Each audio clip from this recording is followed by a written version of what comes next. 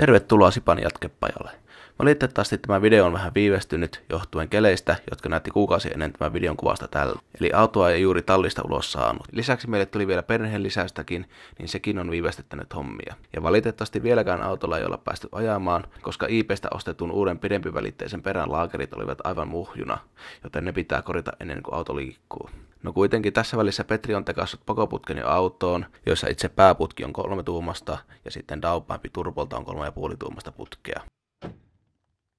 Ja on muuten pakko olla hyvät äänet, koska äänenvaimen paketissa on itse Chip Fuse.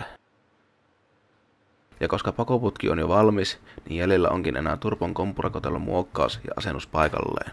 Kompurakotella pitää hieman muokata, koska ulostuloon ei mahdu laittaa letkoa järkevästi kiinni, joten siihen hitsään kulmaputki, joka menee suoraan välijäähdyttimen silikoniletkuun kiinni.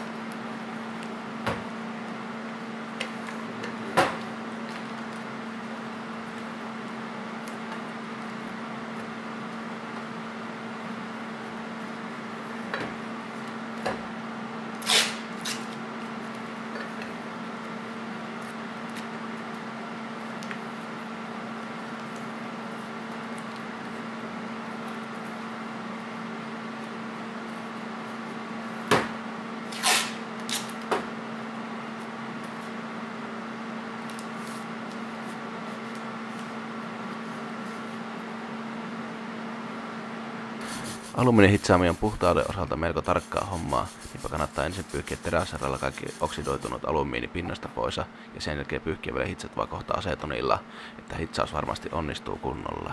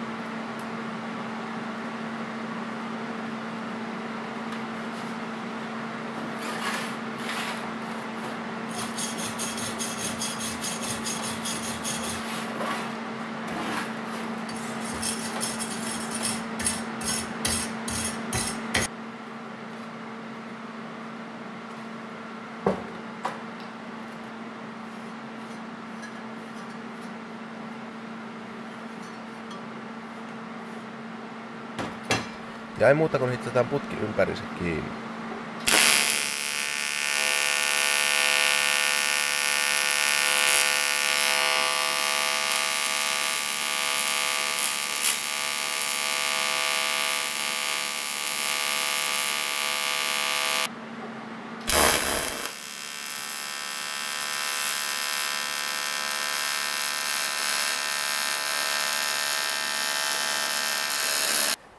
Hitsauksen jälkeen kompurakotelo voidaan asentaa lopullisesti paikalleen.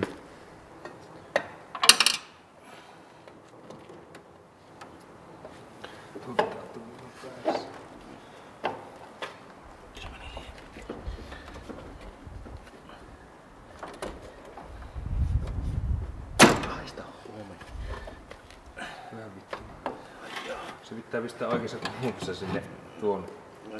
liian pitkälle. Se tuohon kummiskaan. Niin sen kun vääntänyt. Hei hei hei! Mitä? Tuolla sen tuo ja No niin, niin. Se, että kun... Se ei saisi osua.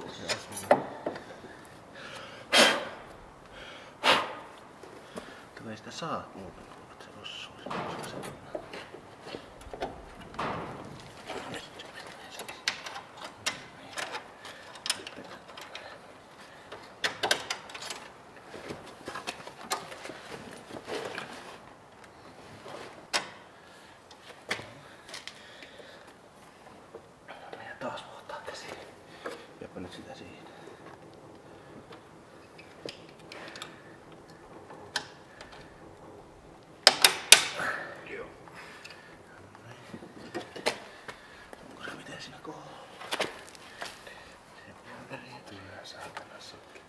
Mitä nyt? Mulla on vuorotettu verta tämäkin auton takia nyt. Sinäkin kerrankin. Tämä on meikäläisen käsi. No niin.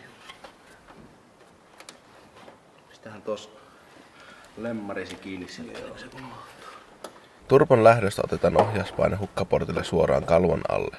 Tällä tavalla saadaan pienimmät mahdolliset ahdot käyttöön näin ensi alkuun, mitä kyseisellä hukkaportin osilla on mahdollista saada. Myöhemmin tuohon linjaan pistetään väliin ahtopainen ohjausolenoidi, jolla voidaan ohjata vähemmän painetta kalvonnalle, kun halutaan lisää ahtoja. Mutta tämä vasta kun on saatu kone säätöihin pienemmälle ahtopaineelle. Muistakaa käyttää tässä korkean lämmönkestön omaavaa letkua, esimerkiksi silikoniletku. Sulannut letku johtaa ahtojen hallitsemattoman karkailuun ja todennäköisesti moottorituhoon.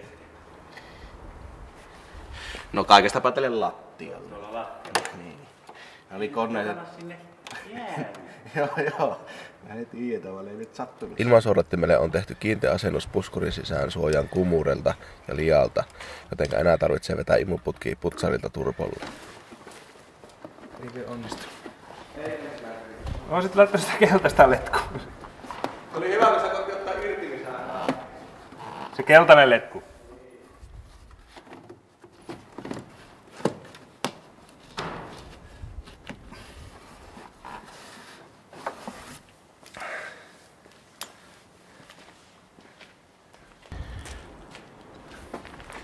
Tämän jälkeen päästäänkin säätöhommiin. Koska autolla ei nyt voida vielä ajaa, keskitytäänkin vain käynnistykseen ja tyhjäkäynnin säätöön, mitkä nyt muutenkin pitää olla ok ennen kuin meinaa ajelemaan edes säätöajoa. Mikä ei ole tympeämpää kuin auto, joka joka välissä sammuilee, eikä edes käy kunnolla tyhjää. Mutta ei muuta kuin tunnelstudio käyntiin ja ruvetaan ihmettelemään. Tein aiemmin uudet kartat järkevimmillä akseleilla ja arvoilla, niin ladataan ne ensiksi sisään.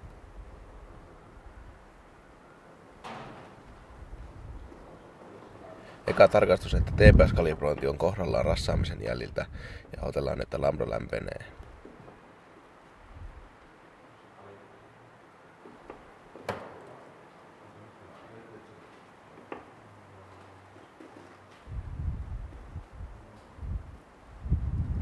Ja ei kun käyntiin.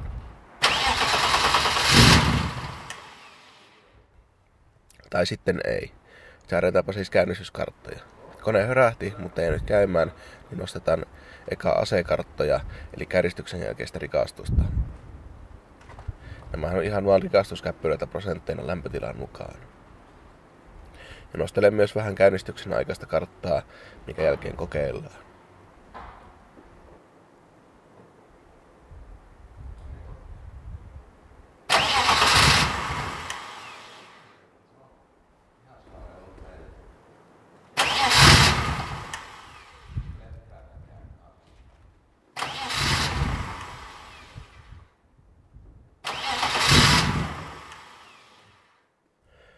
Joo, ei sitten millään.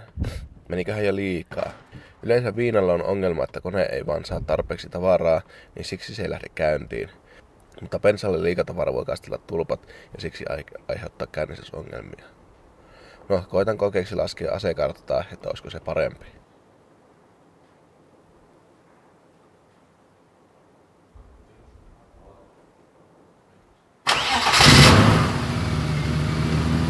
No niin, lähtihän se. Asearvo on varmaan nyt ok tuolle lämpötilalle, mutta itse crankin karttaa pitää varmasti muokata. Nuo aiemmat räjähdykset on lämmittänyt palotilaa sen verran, että tilanne ei varmasti vastannut en, enää normaalia kylmäkäynnistystä. No, se sitten myöhemmin. Säädelläänpä bensakarttaa tyhjäkäynnin alueelta. Tavoitteena olisi saada kone käymään tyhjäkäyntiä alle tuhannen kierroksen ja 14,7 bensa AFR-seoksella. Tämä siksi, koska liian rikas seos viinalla syö konetta väliäksi, ja onhan ne päästötkin paremmat katsastuksessa, jos kone käy oikealla seossuhteella.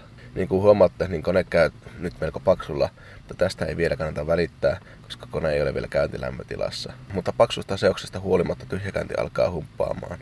Yleensä paksulla seoksella kone käy nätimin, mutta nyt vakiota jemmimmät nokat aiheuttaa ongelmia. Humppauksen estämäksi koitan ensin tasauksessa sytkää ja pensakarttaa, että kone ei humppaisi.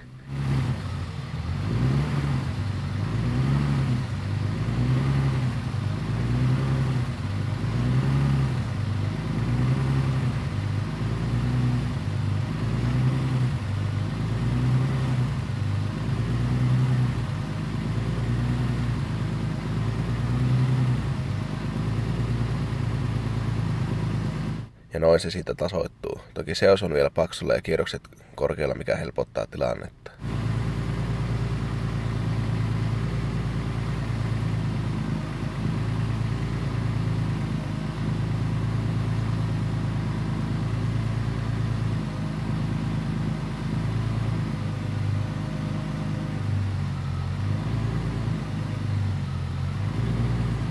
Heti kun koitan laihentaa, humppas alkaa ja kone sammuu.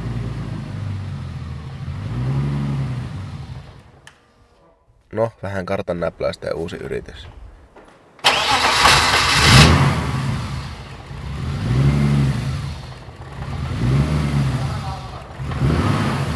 Ei hyvä. Ei pysy kuin kaasulla käynnissä. Ja näköjään ylempänä käy laihalla, niin sieltä pitää paksuntaa.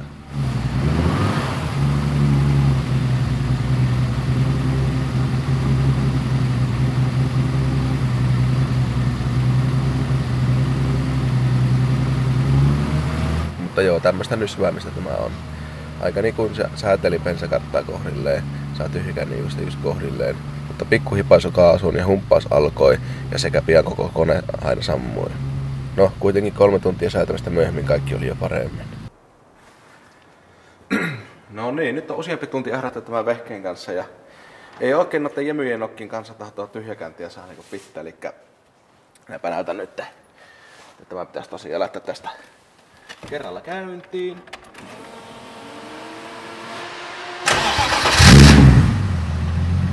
Noin. Se asettuu kerralla sinne.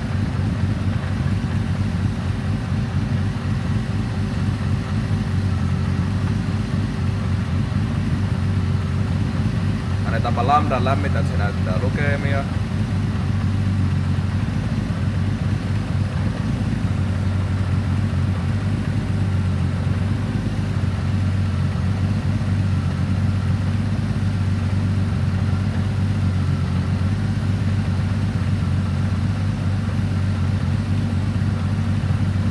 No niin, sehän alkaa näyttää lukemia, se pyörii No karvan verran rikkaan puolella ei se haittaa mitään.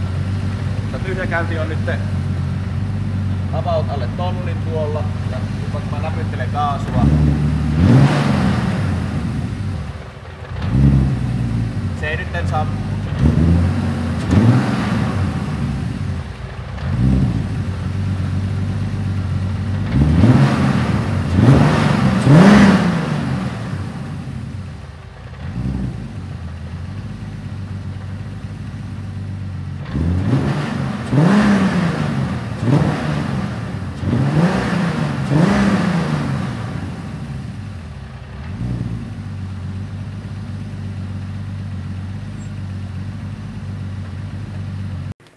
No niin, ja se millä mä sain tämän aikaiseksi niin on tämmöisen tyhjäkäynti ennakkokartan avulla. Eli täällä on täällä, täällä MS2 löytyy täältä valikosta tämmönen erikseen kuin Itle Advanced Settings. Ja täällä saa tota, niin, kierrosuvun perusteella tuon sytkäennakon sääjettyä.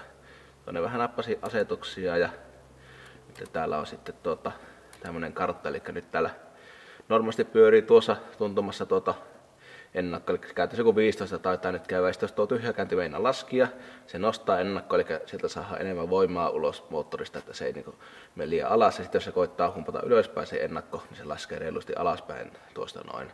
Eli nyt tyhjää kädessä ennakko heiluu, kun se koittaa pitää kierroksia vakaana. Ja nyt kierroksesta palata se ennakko käy ylhäällä, ettei se sammu, ja sen jälkeen tosi alhaalla estääkseen humppausliikkeen. Niin, niin tämä niin periaatteessa tasoittaa tyhjäkäynnin pysymään täsmälleen siinä mielessä se pystyy, pysyy olemaan. Eli erittäin näppärä tämmöiseen haasteelliseen tilanteeseen, että ei taho saa oikein tyhjää käymään tämmöisen rajojen nokkien kanssa. Niin aika näppärä ominaisuus. Aika esitellä lopputulos auton omistajalle. Pistä vaan tyhjää käymään. Joo, joo, joo, vähän lonkeroa.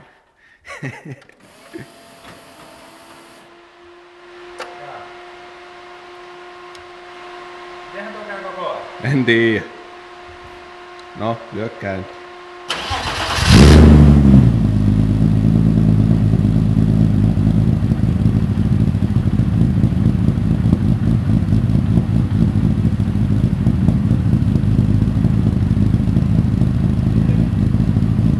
Kuuntelehan tota tyhjäkäyntiä nyt täältä. Vasta jo oikealla. Niin.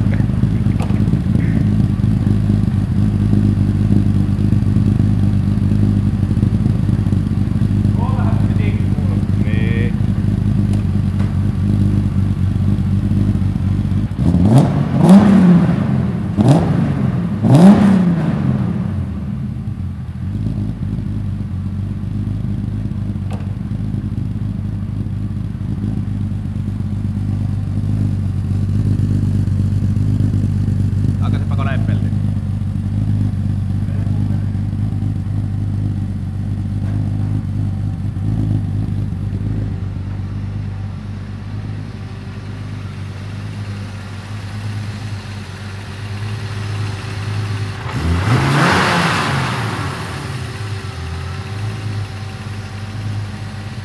No nostimet joutunut vaihtamaan.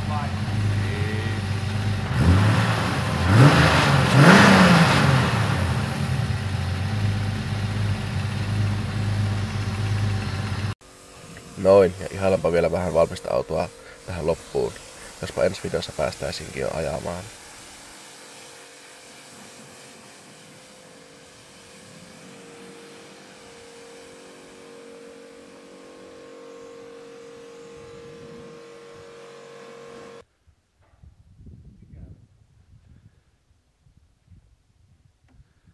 Se tyhjäkäni ohjaus nyt. Ei.